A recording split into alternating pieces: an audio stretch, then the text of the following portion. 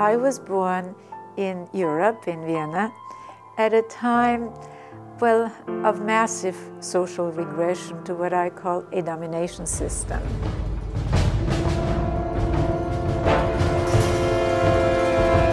It was the rise to power of the Nazis, first in Germany and then in my native Austria. So from one day to the next, my whole world collapsed, and my parents and I, we became hunted with license to kill.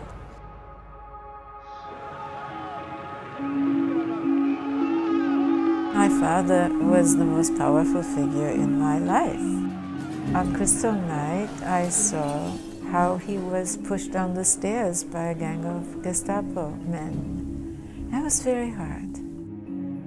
And it was only by a hair's breadth. We were actually on one of the last ships to Cuba, uh, before one that was turned back to St. Louis. That ship was not permitted to land anywhere. It had to go back to Europe. And of course, many of the people on board were murdered by the Nazis, as happened to most of my family grandparents, aunts, uncles, cousins.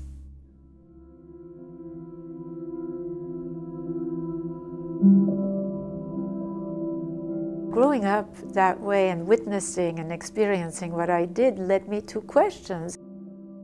Questions that most of us have asked about whether it has to be this way when we humans have such an enormous capacity for caring? Why has there been so much insensitivity, so much cruelty, so much destructiveness? So when I set out on my research, I actually drew from a much larger database than most studies. And I began to see patterns configurations historically and cross-culturally that are not visible using these very fragmenting lenses, such as right or left, religious or secular, Eastern or Western, capitalist or socialist, and so on. Particularly revisiting the story of our cultural origins. A fascinating picture began to emerge.